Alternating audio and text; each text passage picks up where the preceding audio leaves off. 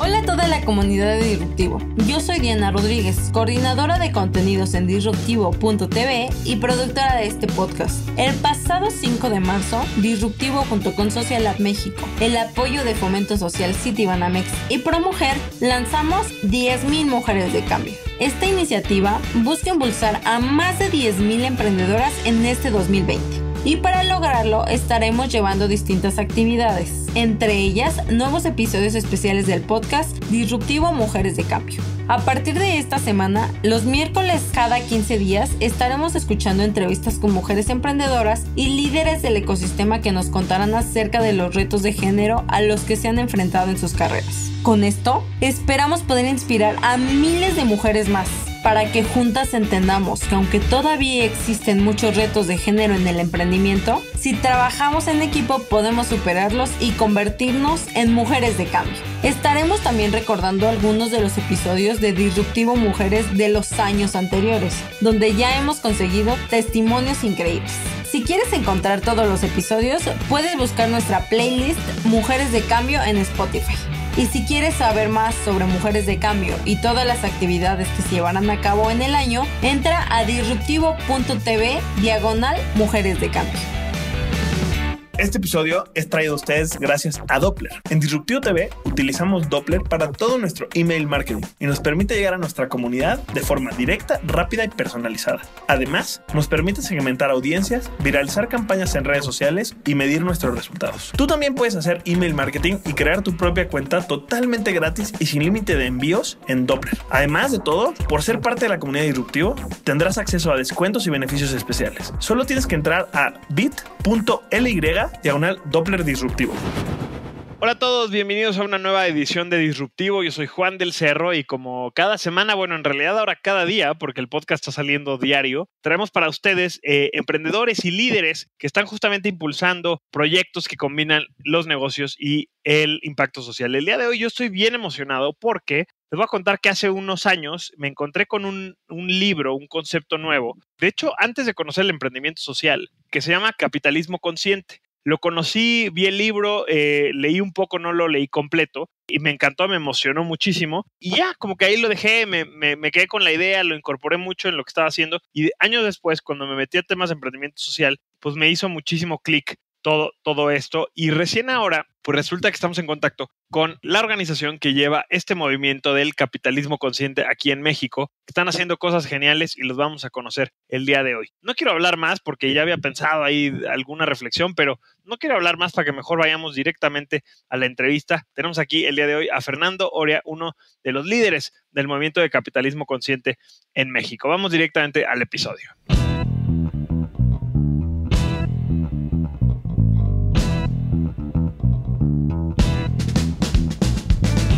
Y bueno, pues ahora sí estamos con Fer. ¿Cómo estás, Fer? Bien, gracias. ¿Y tú, Juan? Muy bien, también. Estamos cada quien desde su casa porque estamos grabando este episodio. Quién sabe cuándo lo oigan ustedes, pero estamos grabando en, en, medio de la cuarentena del COVID. Y bueno, como ya saben, cada quien desde su casa estamos haciendo lo, lo mejor posible para avanzar y para que la crisis no nos detenga. Y bien contentos eh, de tenerte, Fer, porque lo que están haciendo ustedes en Capitalismo Consciente a mí me encanta creo que es muy necesario, muy urgente que cada vez sean más las empresas que vean esta forma de, hacer negocios. Entonces, ¿qué te parece, Fer, si empezamos desde cero y nos cuentas, eh, para todos los que no lo conocen allá afuera, qué es el concepto del capitalismo consciente? ¿A qué se refiere? Este, a ver, pues es más que un concepto, es un, movimiento internacional que hace mucho, poco más de 10 años, a nivel mundial, un maestro de la Escuela de Negocios de Babson, John Mackey, que es el fundador de Whole Foods. Este, bueno, este, este maestro se llama Raj Sisodia. Empezaron a hablar de, pues, básicamente cuál debiera de ser la razón de ser de, las empresas. Todas las escuelas como tradicionales de negocios, la tendencia de Milton Friedman es como siempre los negocios están hechos para, para generarle retorno a sus accionistas. Al final son quienes apuestan a un negocio, quienes te dan lana para, para poner un negocio y entonces tú tienes que responderle solo a ellos. Sin embargo, ellos dos empezaron a cuestionar, ¿no? a través de un montón de investigación y de que, que ahorita platicamos más, pero empezaron a tratar de reformular la razón de ser de las empresas. Entonces llegaron, llegaron a toda una teoría una, filosofía de trabajo que gira en torno a cuatro pilares. Estos cuatro pilares son que eh, las empresas tienen que tener un propósito superior, que es más allá de hacer dinero, que las empresas tengan una cultura consciente. Y el, concepto de conciencia, este, no, no desde el punto de vista de, de relacionar, se relaciona mucho consciente con bueno, ¿no? O sea, sin embargo, consciente es estar al tanto de todo lo que sucede, ¿no? Y que tú estés con los sentidos abiertos de qué es lo que está sucediendo. Entonces una cultura consciente se refiere a que tú sepas qué es lo que estás tratando de transmitir a través de todas las señales, figuras, mensajes, comunicación, imagen, etcétera, a toda, a toda la gente. ¿no? Es, es como la, la, manera en la que tú les estás dictando el, el actuar para que te vaya bien en una empresa determinada. Otro tema es el liderazgo consciente, que, que, abarca un montón de cosas. La parte del liderazgo es bien interesante porque trata como de todos los diferentes, los diferentes tipos de inteligencia que debe tener un líder y tal, pero gira mucho en torno a, pues esto, a, a empatía y a ser un líder inspirador y tal. Y finalmente, el pilar que a mí personalmente más me gusta es eh, que, es como tener conciencia de todos los grupos involucrados de una empresa. Esto es que, retomando este tema de que no solo tus accionistas es como a quien le respondes, pues tus clientes, tus proveedores, tus empleados, la competencia, las comunidades en las que estás trabajando, el gobierno. O sea, hay, como un montón de, partes involucradas en, en todo el entorno de un negocio, bueno, adentro también y esto pues es importante porque no, no se trata de un juego de suma cero, ¿no? Es cómo, cómo generas riqueza para todos, ¿no? No quiere decir que lo que yo genero lo pierde alguien más o viceversa, sino aquí es cómo lo hacemos para generar riqueza para todos. Y hay varios casos que ahorita platicamos, que los comentan de hecho en el libro, y ahorita podemos ir platicando, pero básicamente es eso, o no es un concepto, es más bien una manera de, un modelo de negocio. Me encanta porque digo, de hecho es justo lo que, lo que promovemos nosotros, el, la mentalidad, la, la, forma de hacer las cosas de las cuales hablamos aquí en Disruptivo. De hecho, te voy a decir una cosa, Fer, o sea, yo llevo ya, pues yo creo que dos o tres años que incorporé justamente en mi, en mis pláticas, en mis conferencias, cuando empiezo, justamente hablo de, eh, cito a Milton Friedman, que es el que dice, ¿no? Que la única responsabilidad de las empresas es maximizar utilidades. Y bueno, eso detona es una discusión muy grande que si lo único que quieres es maximizar utilidades, pues se justifica el deterioro del medio ambiente, se justifica el maltrato a tus empleados, se justifica, ¿no? Y al final cierro, justamente ya que hablo del emprendimiento social y demás, pues cierro justo con una cita de, de John Mackey, que es como dices, el fundador de Whole Foods, uno de los iniciadores de esto, que dice, bueno, lo, que los emprendedores tenemos que ir de la maximización de las utilidades a la maximización del propósito, ¿no? Y es, es justo este, como esta visión mucho más integral, mucho más holística, mucho más consciente de las empresas que yo creo que, pues la verdad yo sí creo que es el camino hacia adelante ante los retos que nos enfrentamos actualmente, y no me refiero actualmente a, la crisis de salud, sino actualmente en temas medioambientales, en temas sociales, en temas de desigualdad. ¿no? Fíjate que el libro empieza con un tema muy interesante porque pues, cuando te dedicas a temas de impacto social, pues obviamente hay mucha tendencia y hay mucha gente que cree que lo que hay que hacer es eliminar el capitalismo, ¿no? Y, cambiarlo por otro modelo completamente distinto. Y el libro de Capitalismo Consciente, y supongo que, que de ahí viene también mucha de la filosofía y del credo de ustedes, es que justamente el día de hoy, de hecho me tocó, tuve la oportunidad de escuchar a Arash en el TEC, vino a México hace un par de años, creo. Y él también así empieza su presentación, ¿no? El, capitalismo es hoy en día el modelo más efectivo que tenemos los seres humanos, ¿no? El, el, que ha reducido más la pobreza, el que ha reducido más la carencia de educación, el que ha resuelto más problemas de salud, ¿no? Sin embargo, dentro del capitalismo hay matices, ¿no? Está el capitalismo rapaz que acaba con todo a nombre de las utilidades y está esta forma más de, capitalismo consciente, ¿no? ¿Cómo se construye? Porque, ¿y, y qué opinas tú de esto, no? O sea, en realidad el punto no es el capitalismo no funciona, sigue habiendo pobreza, bye, chao, busquemos otra cosa, sino es más bien cómo mejoramos y cómo evolucionamos este sistema que hoy tenemos, que tiene muchas ventajas también. Sí, mira, un poco lo que nosotros decimos, o sea, la narrativa que hemos construido alrededor de este tema en México es que se tiene esta visión de que el capitalismo es malo, porque hay gente que sí efectivamente ha hecho las cosas muy mal, ¿no? Entonces, canta la frase, pero se dice que pagan justos por pecadores, ¿no? Y entonces eso genera culpa en quienes quieren pues, hacer este, un negocio rentable que les deje para vivir bien, ¿no? Y pues la verdad es que no debería de ser así, ¿no? No, no está mal que te guste el dinero, no está mal que, te guste ir a, de viaje, ¿no? O que te guste comer rico o lo que sea. El punto es que no lo puedes hacer como tú decías, ¿no? O sea, el fin no justifica los medios. No lo puedes hacer atropellando a tus empleados, no lo puedes hacer atropellando el medio ambiente, no lo puedes hacer, ¿no? Así. Entonces, digamos que a partir de que este modelo capitalista, como se conoce hoy en día, de los empresarios son malos y que además hay un discurso bien polarizado en, todos lados y en México lo vivimos de forma muy particular, como en otros países de Latinoamérica, en donde las mismas personas que están dándole empleo a la población y que están generando productos y servicios para el bienestar de la gente, pues son mal vistos, ¿no? De alguna manera, así de bote pronto ya es, ah, empresario, mal, tache, fuera, ¿no?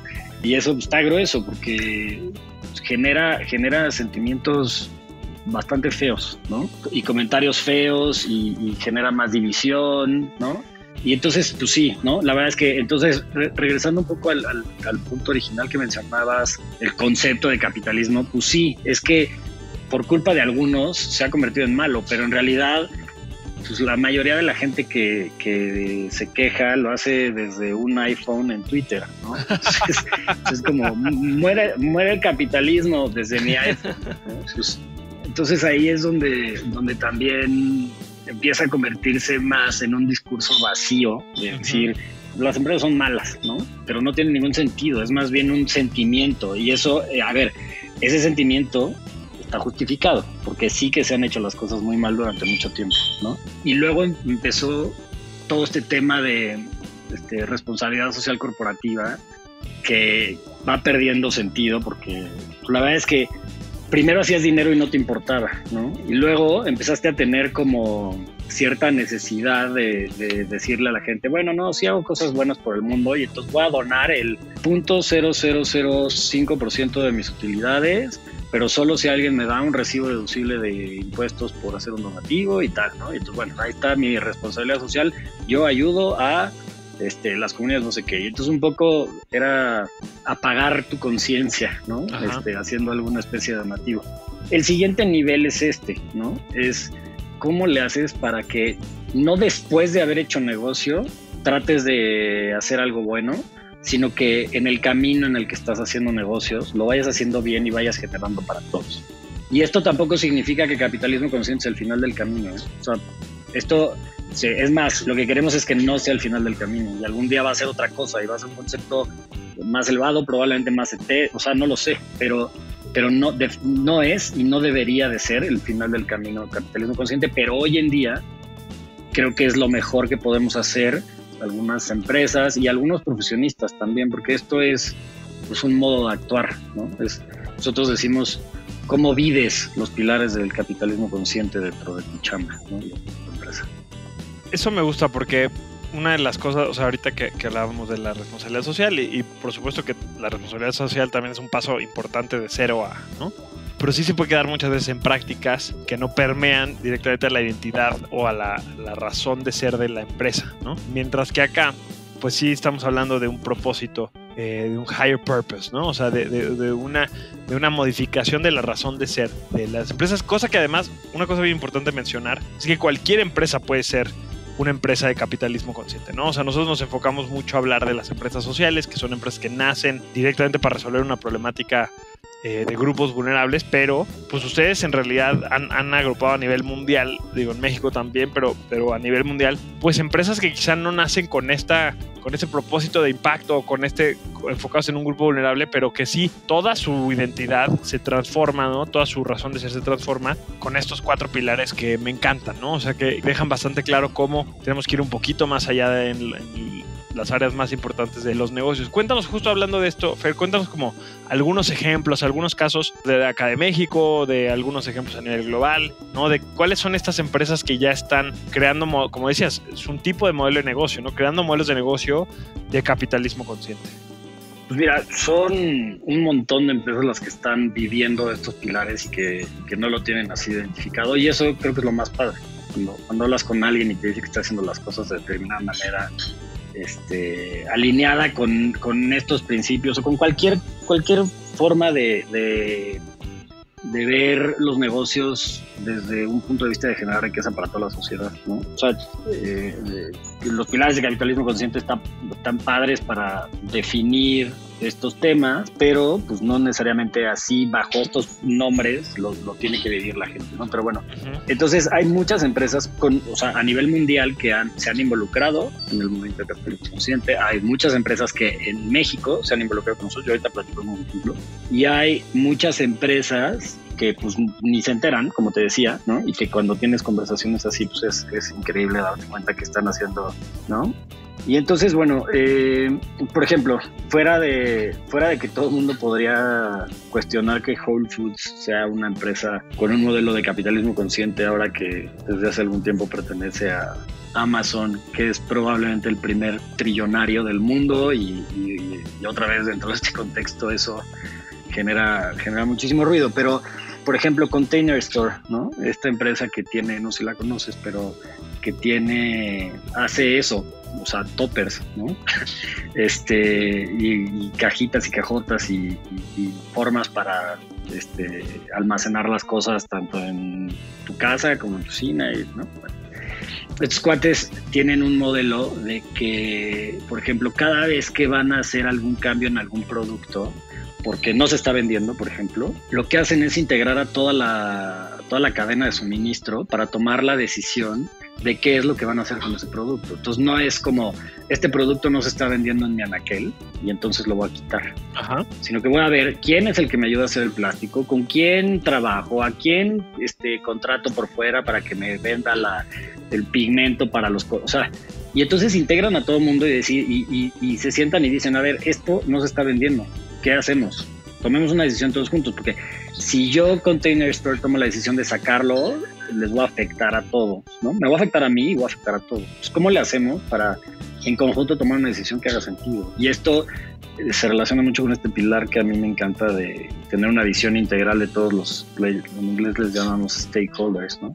Son pues, esto, los grupos involucrados. Y pues la verdad es que eso es, eso es bien padre. En México eh, tenemos varios ejemplos de empresas que han trabajado con nosotros, pero quisiera darte el caso concreto de una empresa que se llama Merco, que son supermercados que trabajan en el norte del país. Y esto, pues con la coyuntura que estamos viviendo, porque ellos, hazte cuenta que lo que hicieron fue hablar con, con restauranteros pequeños, medianos de la región en donde ellos trabajan para que se evitara un poco la pérdida de empleo, que eso también es una de las cosas que a muchos nos tiene muy preocupado. Y entonces les decía, no corras a la gente, ¿no? Porque la vas a necesitar en algún momento. Entonces lo que vamos a hacer es, yo les voy a pagar una parte del de, de sueldo y me los vas a mandar a chambear. Y van a trabajar conmigo en un montón de cosas que tenemos que hacer nosotros, porque afortunadamente para la industria de retail y de alimentos, esto ha sido Sí, aumentado. Ha sido, no bueno, pero han sido los men de los menos afectados. Claro. Y entonces necesitan más gente.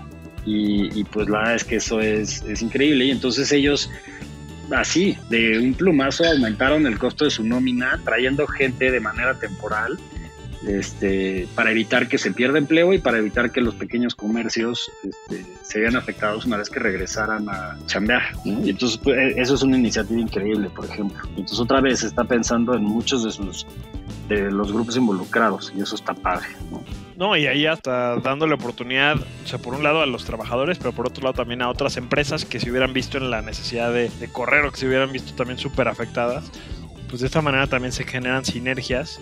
Aunque asumo que mucho, o sea, de, la, filosofía también del, del capitalismo consciente es o sea, esta conciencia no es nada más tú y los tuyos, sino también las otras, aunque en realidad entran dentro de los dentro de los stakeholders, ¿no? O sea, Eso. proveedores, aliados, incluso otras empresas de tu sector, ¿no? O sea, es una forma mucho más consciente, aunque estemos usando de manera, o sea, muy seguida el, el, el término, pues hasta de ver el, a tu industria, ¿no? O hasta a tus competidores, digamos, ¿no? Porque también este, este mundo de suma cero, como decías hace rato, pues no, no es sostenible, ¿no? Entonces esto te permite hacer mucho más, pues hacerlo mucho más escalable y mucho más sustentable a largo plazo. Sí.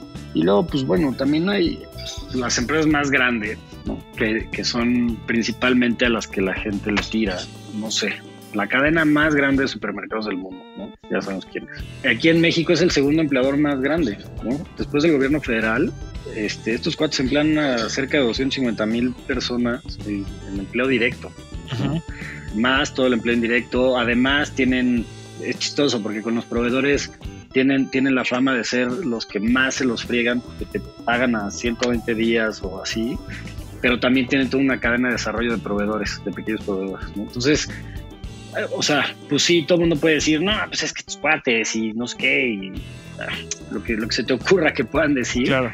Pero en realidad, pues la gente que se queja muy probablemente tenga algún pariente o algún conocido o algo que trabaje este, en algún, algún área de, ese. Sí, directa o entonces, Sí, entonces es, es bien complicado echarte un discurso como tan generalizado de de odio, ¿no? Otra vez, está justificado, así como, o sea, sin entrar a rollos políticos, digo, yo, yo no voté por el presidente, pero entiendo a muchas de las personas que votaron por él, o sea, ¿no? Sí, de acuerdo. Es normal, estábamos todos muy enojados, digo, yo, claramente esa no fue la solución, pero estábamos todos muy enojados y está justificado, ¿no? Y lo mismo pasa con las empresas, pues hay gente muy enojada, con toda razón, porque muchas cosas no se han hecho bien, pero eso no quiere decir que, que, todos de entrada son malos y que no hay, ya entrando a, un rollo medio romántico, ahí está como cuando las empresas lo quieren hacer bien, hay hasta cierta nobleza, ¿no? De, decir, bueno, pues vamos a, a, ver, cómo, sobre todo en los negocios sociales, ¿no? O sea, yo quiero, no sé, Ilu México, ¿no? Que seguro lo conocen, la gente que escucha, lo conocen bien, ¿no? Ajá.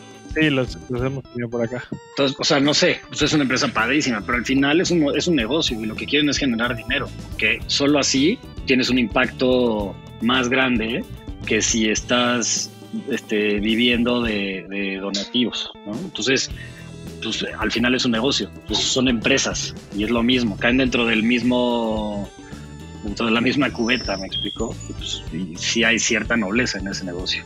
No, de acuerdo. Y, yo creo que antagonizar y los, los, como dices, los buenos contra los malos, los de izquierda contra los de lo único que genera es división y lo único que no nos permite es pues, trabajar juntos para tirar para adelante. Entonces, me gusta mucho esta visión. Estoy acá, tengo una nota, por ejemplo, que se publicó hace poquito en Entrepreneur, justamente eh, que habla de la responsabilidad social, el capitalismo consciente de las empresas B, temas de los cuales hemos tocado. Pero está interesante porque trae cifras muy concretas de, cómo además es buena estrategia para los negocios, ¿no? O sea, dice, por ejemplo, acá, y, tú interrúmpeme y comenta lo que tú quieras también. O sea, como dice por ahí, 1681% aumenta el valor de las acciones de empresas conscientes en un periodo de 15 años, ¿no? O sea, a partir de que una empresa empieza a aplicar estos cuatro pilares, ¿no? Este modelo de negocio, capitalismo consciente, aumenta hasta 1680%. Es una locura. Sí, hay, hay investigación fuerte y bien sustentada al respecto, que sí, efectivamente dice que, que, hay una correlación muy clara entre empresas que han tenido de alguna u otra manera, o sea, otra vez, no, no es que estén asociadas al movimiento del capitalismo consciente, pero que de alguna u otra manera tienen prácticas de este tipo con resultados financieros, ¿no? Y eso es increíble. Hay, hay, de hecho, hay otro libro de de Ratchi Sodia con otros un par de coautores que se llama Firms of Endearment, que habla como de empresas de, primer nivel muy grandes que han visto eh, sus utilidades incrementadas a partir de, introducir dentro de sus modelos de negocio prácticas conscientes, ¿no? Y eso es, pues es increíble. Ah, qué cool. Ese no, no lo conocía, me lo voy a echar ahora. Ya lo estoy buscando aquí. muy bien. Oye, me, encanta, Fer. O sea, con esto creo que nos das una muy buena perspectiva de, qué es el capitalismo consciente, ¿no? De, cuáles son los pilares, incluso ejemplos concretos, ¿no? De, no nada más de empresas, sino de prácticas que las empresas que viven con estos principios toman. Cuéntanos un poco acerca ahora de ustedes en México, o sea, el capital, la organización, ¿no? Que lleva el tema de capitalismo consciente en México. ¿Qué tipo de actividades eh, llevan a cabo? Eh, ahorita evidentemente no, pero normalmente tienen pláticas, ¿no? Tienen eventos abiertos, tienen por ahí una, una, certificación. Platícanos de todo lo que están haciendo en México como tal. Para la gente que se quiera sumar, habrá cosas en las que se puedan sumar ahorita y habrá otras cosas que tendremos que esperar a, que termine la, la, cuarentena y esta época, pero para que vayamos involucrándonos también un poquito más.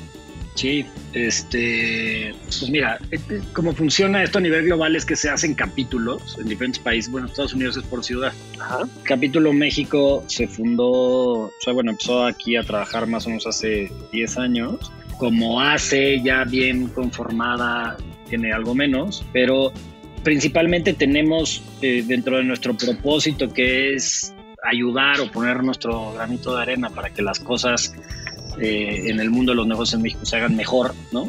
Tenemos tres líneas de acción, ¿no? Una que se llama eh, redes, que es eh, propiciar que las empresas chicas, medianas y grandes de México empiecen a adoptar prácticas conscientes, ¿no? Y ahorita te, te, platico a través de qué iniciativas. Ok. Tenemos otra, otra línea de acción que es trabajar a través de la academia, en donde incorporamos experiencias formativas y tratamos de hacer presentes estos principios de capitalismo consciente en la vida universitaria, ya sea trabajando con docentes o directamente con los alumnos. Yo ahorita también te doy alguna ejemplo de esto.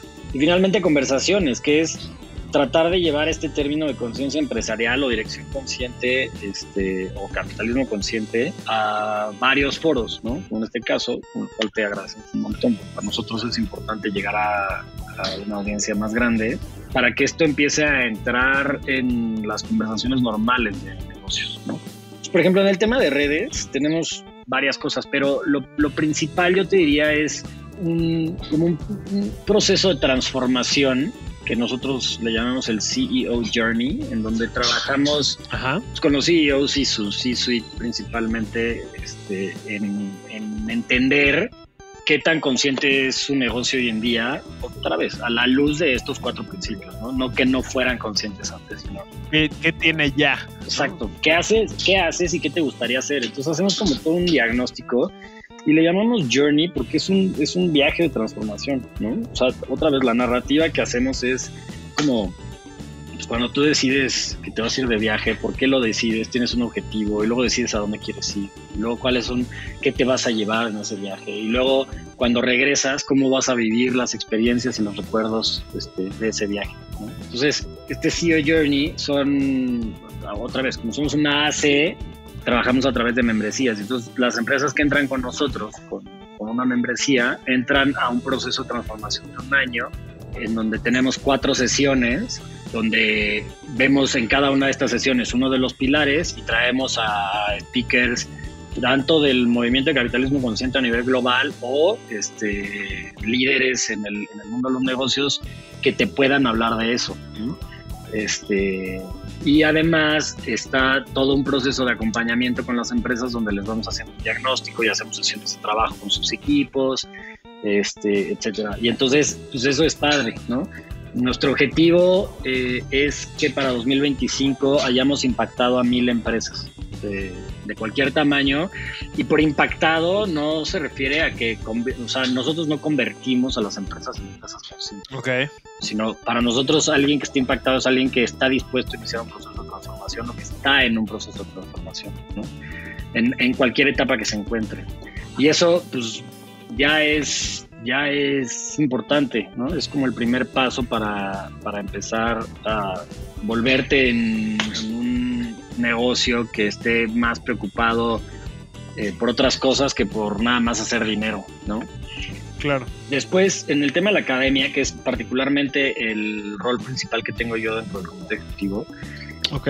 hemos hecho algunas cosas, pero por ejemplo, eh, con el TEC de Monterrey tuvimos una clase de, de, capitalismo consciente con los tres campus de, la Ciudad de México, este, Ciudad de México, bueno, Estado de México y Santa Fe, en donde invitábamos a algunas empresas, alumnos y a mentores del movimiento de capitalismo consciente a trabajar con los alumnos en un proceso similar de hacer un diagnóstico este, que los que entiendan los principios de capitalismo consciente, que les recomienden algo a las empresas de cómo tomar un camino más consciente. Y la verdad es que eso fue padre, sin embargo para nosotros no es un modelo tan sostenible porque en, digo, en el consejo habemos algunas personas que no cobramos absolutamente nada y, en, y dentro de la AC tenemos a tres personas, ¿no? cuatro personas. Okay. Y pues, la verdad es que los recursos son muy limitados y operar un programa de ese tipo no es nada fácil. Entonces, estamos viendo cómo a través de otro tipo de herramientas, como lo es la certificación que mencionabas hace rato,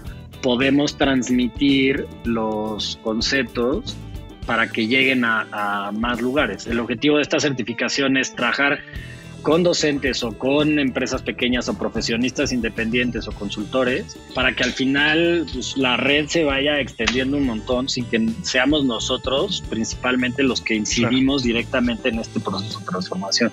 Entonces, así es como hemos tratado de, trabajar y ya tenemos también pues, pláticas muy avanzadas con otras universidades y ha sido un trabajo bien interesante porque además lo que queremos es al final vincular a estudiantes que tengan ya como este mindset, ¿no? Porque lo que queremos es que los estudiantes no cambien su forma de ver las cosas, sino que salgan con esta forma de ver las cosas al mundo profesional, ¿no? Sí, que eso es lo ideal, ¿no? O sea, que desde el inicio, desde tu formación, pues ya tengas esta nueva visión de cómo son las cosas, que no la tengas que cambiar después, ¿no? Sino que desde que estás aprendiendo y desde que estás formándote, pues entiendas que al menos hay más de una manera de hacer las cosas, ¿no? Que no es yo creo que, bueno, seguro a ti también te pasó, ¿no? O sea, a mí en la, en la universidad, y siempre cuento esto, pues siempre se me enseñó que la única razón de ser de las empresas era ganar dinero y que las mejores empresas eran las que más dinero ganaban. Este, y entonces, bueno, si esto permea en las universidades, pues generas un impacto enorme porque entonces sí formas muchas, o sea, formas generaciones completas de líderes conscientes, ¿no? Que, que ya desde cajón lo van a traer. Está increíble ese, toda esa charla. Digo, pero eh, eh, digamos que ese tema de la o sea, de trabajar con las escuelas, pues sí es bien importante, no, porque no solo van a salir emprendedores de las universidades, sino profesionistas que, que tienen que integrarse a una escuela, a empezar a, lidiar con culturas de negocio en las empresas que probablemente sean completamente contrarias a esto, ¿no? Este, y entonces es importante que salgan con ese, con ese chip para poder pues, poner una postura frente a todas estas este, situaciones, culturas inconscientes líderes inconscientes este, y, materialismo ¿no? que, predomina. Claro. Ahora, para, para, digo, aprovechando el espacio, decías que cómo la gente se puede, cómo la gente se puede involucrar. Pues mira, o sea, la, gente que, que, se quiera, hay, tenemos como diferentes niveles, pero de entrada ahorita estamos teniendo una, una serie de, de sesiones, de masterclasses, de entrevistas como bien interesantes, donde la gente puede entrar. Hay algunas que son gratuitas y otras tienen un costo mínimo, como de 100 pesos, 200 pesos, dependiendo de la sesión, en donde pueden informarse y hablar de y, ver cómo pues, líderes de opinión en el tema hablan de algunas de estas cosas que, que pues, puede ser como un buen arranque para que la gente empiece a, conocer lo que, lo que es esto, ¿no? Por otro lado, eh, bueno, pues ya empresas que estén más consolidadas dentro de su modelo de negocio, pues, siempre son bienvenidas a participar con nosotros en este CEO Journey, que estamos viendo maneras de cómo generar más valor para todos nuestros asociados. Pero bueno, también encantados de recibir este, más y más negocios de diferentes tipos, sobre todo porque se enriquecen muchísimo las conversaciones. Estas sesiones del CEO Journey donde los invitamos a todos los miembros, la verdad es que han salido cosas bien padres, ¿no? Hay, hay uno de nuestros que ahora se convirtió en un consejero este, que un día en una sesión dijo, ¿por qué no nos comprometemos todos a que nadie, ningún empleado de nuestras empresas pueda ganar menos de 6.500 pesos, 7.000 pesos de sueldo? Ok. Pues la verdad es que mucha gente dice, o sea, así, ¿eh? tal cual, en una comida, y lo dice enfrente de todo el mundo, y pues se empiezan a generar compromisos informales de esa manera, ¿no? Y eso pues, es padre, que así como que entre unos empujan a otros, eso es me encanta ese ejemplo que mencionas porque es un tema súper importante. Por ejemplo, el tema de los. El año pasado salieron unos números que de Forbes, ¿no? Que solamente creo que el 4, bueno, basados en, información del ING, solamente el 4% de la población en México gana más de 13 mil pesos al, al, mes. Creo que el 1% o menos del 1% gana más de 20 mil. Entonces, claro, la generación de empleos solamente así no es suficiente ya, sino que se tienen que generar empleos de calidad. Y es justo el tipo de ejemplos de las prácticas que pueden surgir a raíz de, esto. ¿no? está increíble que esto surja ahí con ustedes, ¿no? Y que surja de lo, desde los mismos empresarios. Sí, exactamente. Me encanta, Fer. Oye, este, Pues mira, o sea, creo que con esto la gente también se lleva una idea un poquito más práctica de cómo podemos involucrarnos. Ahorita, por cierto, eh, están haciendo mucho contenido online, ¿no? Están haciendo webinars, estamos viendo, digo, mucha gente lo, nos va a escuchar ahorita y mucha gente nos escuchará después y quizá ya hayamos vuelto a los eventos presenciales, pero bueno, de todas maneras está chido poderse involucrar y conocer un poquito más. Oye, Fer, por último quisiera preguntarte, y no sé qué tanto te toque a ti estar como tal en las empresas, como, como nos decías, eres parte del comité ejecutivo, eh, hay un equipo como tal que es quien opera y quien está ahí metido, pero no sé, no sé si hayan discutido o, te haya tocado ver un poco como cuáles son las principales áreas donde las empresas en México ya están más avanzadas y en las cuales más les más falta les más hace perdón, más falta les hace trabajar en este tema de los pilares, ¿no? O no hay así como una tendencia tan clara. Eh, habrá obviamente casos muy distintos, pero ¿tienes algo así, algún insight de, no, pues mira, la verdad es que en México vamos muy bien con esto o esto o esto? Súper buena pregunta. La verdad es que aquí en México, yo digo, te podría hablar un poco de, lo que yo he visto, pero pues sí, efectivamente, creo que alguien más de la ACE este, nos podría dar más información y, y yo acabando esto hablo con, con ella para que nos ayude, pero te voy a dar mi percepción. Yo creo que, eh, por ejemplo, en el, en el, tema del pilar de los, de los stakeholders, las empresas cada vez más trabajan tomando más en cuenta a sus empleados y a sus clientes. Y eso, eh, la verdad es que está padre. Okay. Ahí es donde, donde yo, además que yo experiencia durante muchos años fue temas de recursos humanos y eso está muy relacionado con temas de los empleados y eso, pero la verdad es que ahí sí he visto que se ha trabajado mucho. Pareciera que no, porque uno de los principales argumentos para tirarle a las empresas es que maltratan a los empleados, ¿no? Pero la verdad es que no. O sea, si se contrastara lo que hacen muchas empresas mexicanas, incluso con, con empresas en países desarrollados, es impresionante. La verdad es que sí se, sí se apapacha mucho a, la gente en México. Eh, en algunas industrias, como en todo, pues habrá casos que no, no puedan ayudarme a sustentar esta opinión o percepción. ¿eh? Otra vez, esto es una percepción de Fernando Ola, no es, no es de nadie más. Ahora, yo veo que en términos de cultura y liderazgo, ahí sí nos hace falta un montón.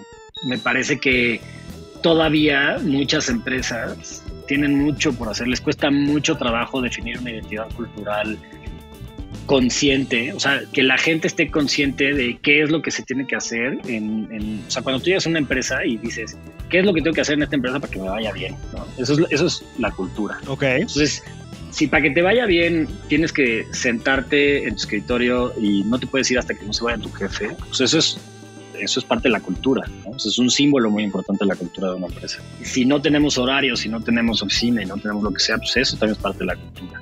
Entonces, y, te dije como los dos extremos. Entonces, yo creo que hace falta muchísimo en eso y las empresas muchas veces tratan de, de definir su cultura a través de documentos y no tanto a través de, de, vivencias, de prácticas. ¿no? Y lo mismo pasa con, con los líderes. Hay muchos líderes que son muy buenos líderes, pero son muy inconscientes de lo que hacen y entonces no tienen la capacidad de replicarlo.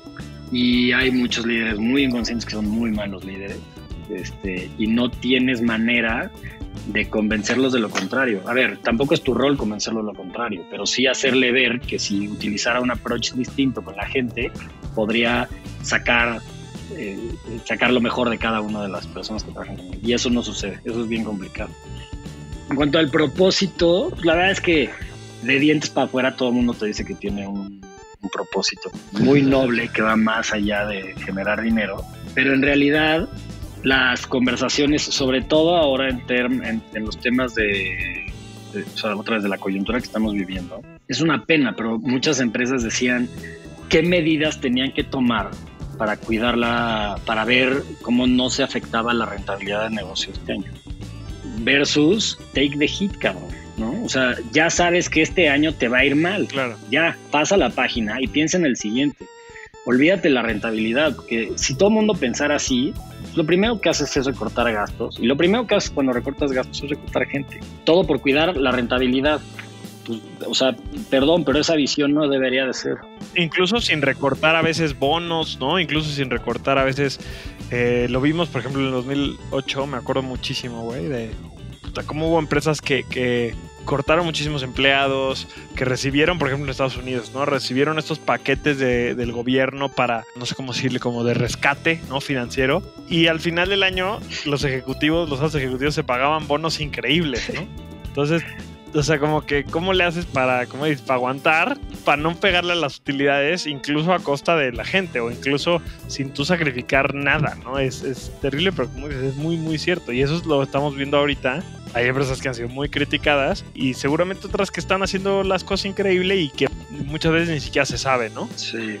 Sí, hay uno de los, de los consejeros fundadores este, del movimiento aquí en México, se llama Raúl Romero. Él habla mucho de cómo esta, eh, tratar de siempre llegar al EBITDA que presupuestaste en el año, pues es lo que te, perdón, pero lo que le pone la madre al mundo de los negocios, ¿no? Si bien es importante, ya no tienes que vivir para darle a una EBITDA. Hay mucha gente muy ortodoxa en el mundo de los negocios va a decir que, que está mal, ¿no? porque el argumento es, ah, pues sí, pero si no tengo rentabilidad, a ver quién paga los sueldos, y a ver quién contrata, y a ver quién no sé qué, y no sé cuánto. Pues sí, pero hay que a veces, yo creo, que hay que sacrificar o dejar sobre la mesa ganancias de corto plazo para tener eh, ganancias de largo plazo más grandes.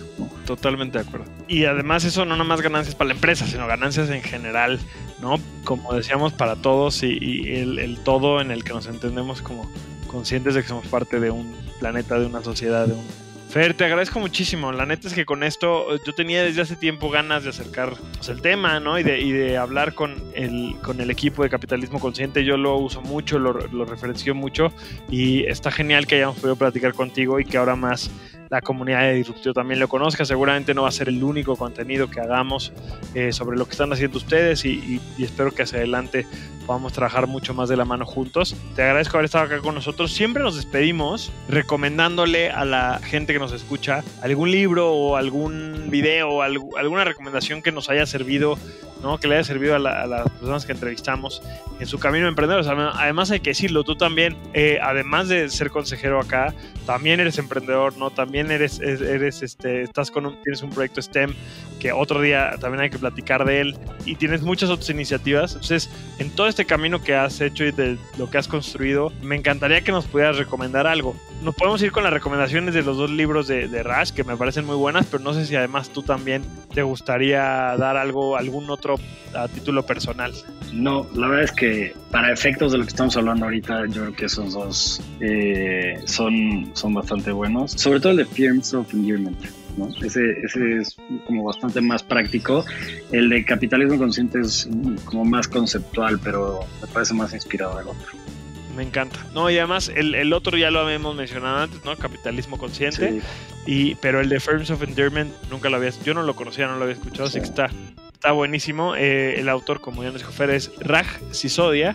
Y bueno, lo encuentran bastante, bastante fácil. Y además, bueno, ya que se meten a ver, el Raj Sisodia tiene videos, tiene muchas pláticas, tiene mucho contenido del cual nos podemos empapar del tema. Sí, digo, bueno, perdón, hay otro libro que también, digo, es, es como otro concepto, pero tiene está como muy relacionado, que es un libro de que a lo mejor ya también han oído, que es el de Freddy Kaufman de la empresa consciente. Freddy, ¿cómo se llama? Freddy. Freddy Kaufman. La empresa consciente.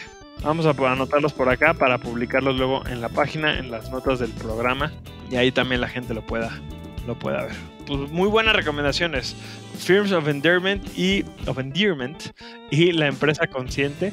Con estas dos nos llevamos para que podamos seguir aprendiendo más de todo esto que, que escuchamos el día de hoy. Fer, muchísimas gracias. ¿Dónde podemos eh, seguirlo? ¿Dónde podemos conocer más de lo que está haciendo eh, Capitalismo Consciente en México? En todas las redes de, o sea, digo, sobre todo en Instagram se han estado haciendo muchas cosas, que es Conscious Capitalism México. Y ahí nos pueden seguir y en LinkedIn también son, somos los consejeros y, y la hace bastante activa. Buenísimo. Pues ahí está. Eh, entren a LinkedIn, ya saben que es de mis redes favoritas y busquen al equipo de Capitalismo Consciente México. Y obviamente ahí cuando a la hora de que publiquemos este podcast los vamos a estar tagueando para que conecten con ellos, los conozcan y pues ya sean parte de esta red en México. Fer, muchas gracias eh, por haber estado con nosotros. Casi nos echamos una hora, estuvo muy buena la plática.